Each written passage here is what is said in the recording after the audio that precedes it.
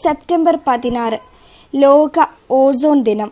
Ozone പാളിയുടെ പ്രാധാന്യം അത് സംരക്ഷിക്കേണ്ടതിന്റെ ആവശ്യകത എന്നിവയെക്കുറിച്ച് അന്താരാഷ്ട്ര തലത്തിൽ അവബോധനം സൃഷ്ടിക്കുക എന്നതാണ് ഈ ദിവസത്തിന്റെ ദിവസത്തിന്റെ ഉദ്ദേശ്യലക്ഷ്യം ആയിരത്തി തൊള്ളായിരത്തി എൺപത്തി ഏഴിൽ ഓസോൺ സംരക്ഷണം ലക്ഷ്യമിട്ട് ലോക രാജ്യങ്ങൾ ഒപ്പിട്ട് മോൺട്രിയൽ പ്രോട്ടോകോൾ അടയാളപ്പെടുത്തുന്നതിനാണ് ആയിരത്തി തൊള്ളായിരത്തി തൊണ്ണൂറ്റി നാല് മുതൽ യു എൻ ഇ പിയുടെ നേതൃത്വത്തിൽ സെപ്റ്റംബർ പതിനാറ് ഓസോൺ ദിനമായി ആചരിക്കുന്നത്. ഒട്ടേറെ ചർച്ചകളും സെമിനാറുകളും ഈ ദിവസം സംഘടിപ്പിക്കപ്പെടുന്നു. ലോക ഓസോൺ ദിനം ആചരിക്കുന്നതിനുള്ള ഏറ്റവും നല്ല മാർഗം അതിനെക്കുറിച്ച് കൂടുതൽ അറിയുക എന്നതാണ്. എന്താണ് ഓസോൺ? ഓക്സിജനിന്റെ മൂന്ന് ആറ്റങ്ങൾ അടങ്ങിയ തന്മാത്രയാണ് ഓസോൺ. അതിനാൽ ഇത് ഓ ത്രീ എന്നറിയപ്പെടുന്നു. സൂര്യനിൽ നിന്നും പുറപ്പെടുന്ന അൾട്രാ വയലറ്റ് രശ്മികൾ ഓക്സിജൻ തന്മാത്രകളിൽ പതിക്കുമ്പോൾ അവ വിഘടിച്ച് ഓക്സിജൻ ആറ്റങ്ങളായി മാറുന്നു. ഈ ആറ്റങ്ങൾ ഓക്സിജൻ തന്മാത്രയുമായി ചേർന്ന് ഓസോൺ രൂപപ്പെടുന്നു. ഓക്സിജനിൽ നിന്നും ഓസോണും ഓസോണിൽ നിന്നും ഓക്സിജനും തുടർച്ചയായി ഉണ്ടായിക്കൊണ്ടേയിരിക്കുന്നു.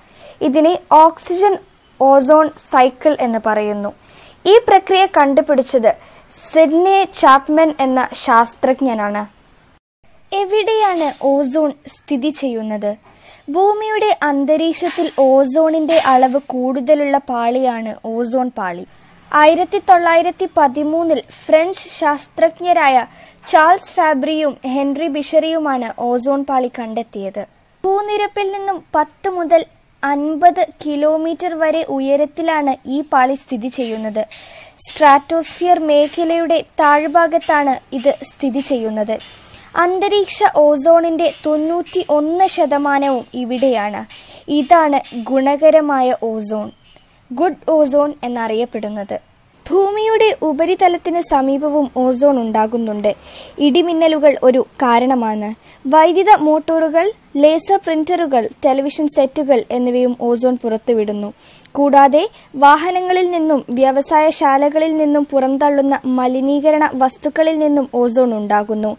ഇത് ദോഷകരമായ ഓസോൺ ആണ് ബാഡ് ഓസോൺ എന്നറിയപ്പെടുന്നു. ഇത് ശ്വസിക്കുന്നത് ശ്വാസകോശ സംബന്ധമായ രോഗങ്ങൾ ഉണ്ടാകാനും ഹൃദയത്തിനും ധമനികൾക്കും പ്രശ്നമുണ്ടാവാനും ഇടയാകുന്നു. ഗുണകരമായ ഓസോണിന്റെ ധർമ്മങ്ങൾ എന്തൊക്കെയാണെന്ന് നോക്കാം. ഇത് ഭൂമിയുടെ കുട അതായത് ഒരു സംരക്ഷണ കവചമായി പ്രവർത്തിക്കുന്നു. സൂര്യനിൽ നിന്നും പ്രവഹിക്കുന്ന മാരകമായ അൾട്രാ വയലറ്റ് രശ്മികളെ ആഗീകരണം ചെയ്ത് ഭൂമിയിലെ ജീവജാലങ്ങളെ സംരക്ഷിക്കുന്നു. സൂര്യനിൽ നിന്നുള്ള താപം ഹീറ്റ് എനർജി പിടിച്ചുവെച്ച് ഭൂമിയുടെ സ്വാഭാവികമായ ചൂട് നിലനിർത്തുന്നു. കൂടാതെ ധ്രുവപ്രദേശങ്ങളിലെ മഞ്ഞ് വാതക വിനിമയത്തിന് സഹായകമായി പ്രവർത്തിക്കുകയും ചെയ്യുന്നു. ഓസോൺ പാളിയുടെ ശോഷണം അഥവാ ഓസോൺ ഹോൾ ഓസോൺ പാളിയിൽ ഓസോണിന്റെ അളവ് കുറഞ്ഞ് അത് നേർത്ത് വരുന്നതിനെയാണ് ഓസോൺ ഹോൾ എന്ന് പറയുന്നത്.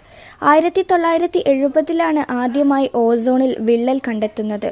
ക്ലോറിൻ ബ്രോമൻ ക്ലോറോഫ്ലൂറോ കാർബൺ തുടങ്ങിയ രാസവസ്തുക്കൾ കാരണമാണ് ഓസോൺ പാളിയിൽ നാശമുണ്ടാക്കുന്നത് ക്ലോറോഫ്ലൂറോ കാർബൺ അഥവാ സി എഫ് സി റെഫ്രിജറേറ്ററുകൾ എയർ കണ്ടീഷണേഴ്സ് സ്പ്രേ കാൻസ് എന്നിവയിൽ ഉപയോഗിക്കുന്നതാണ് സി എഫ് സി ഇതിലെ ക്ലോറിൻ ആറ്റംസ് ഓസോണിനെ വിഘടിച്ച് ഓക്സിജൻ ആക്കുന്നു.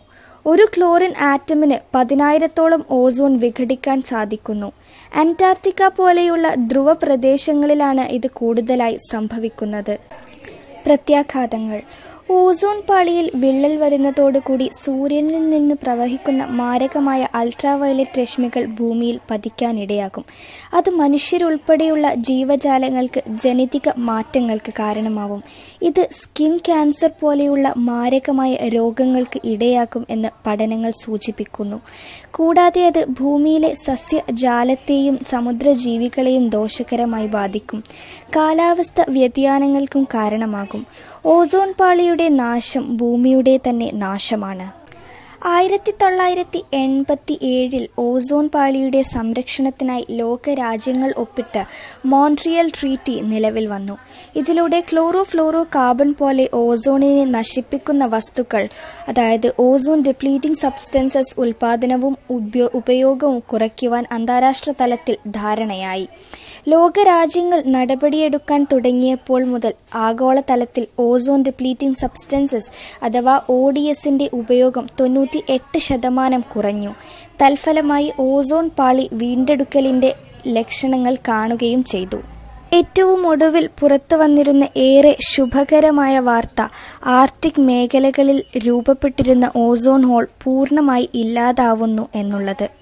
ഓസോൺ സംരക്ഷിക്കാനുള്ള കാര്യക്ഷമമായ ഇടപെടലുകളും കോവിഡ് നയന്റീൻ പ്രതിരോധത്തിന് വേണ്ടി പ്രഖ്യാപിച്ച ലോക്ക്ഡൌണും ധ്രുവ പ്രദേശങ്ങളിലെ ചുഴലിക്കാറ്റും കാരണമാവാം. ഈ വർഷത്തെ ഓസോൺ ദിന പ്രമേയം ozone for life thirty five years of ozone protection എന്നതാണ്. കോവിഡ് നയന്റീൻ പാൻഡമിക്കിന്റെ ഈ വർഷത്തിൽ ഓസോൺ സംരക്ഷണത്തിനായി ഐക്യത്തോടെ പ്രവർത്തിക്കണം എന്ന സന്ദേശമാണ് ഇത് നൽകുന്നത്. ഓസോൺ ഫോർ ലൈഫ് എന്ന മുദ്രാവാക്യം ഓർമ്മിപ്പിക്കുന്നത് ഭൂമിയിലെ ജീവന് ഓസോൺ നിർണായകമാണെന്നും മാത്രമല്ല ഭാവി തലമുറയ്ക്കായി ഓസോൺ പാളി സംരക്ഷിക്കുന്നത് തുടരേണ്ടി വരുമെന്നുമാണ്. നന്ദി.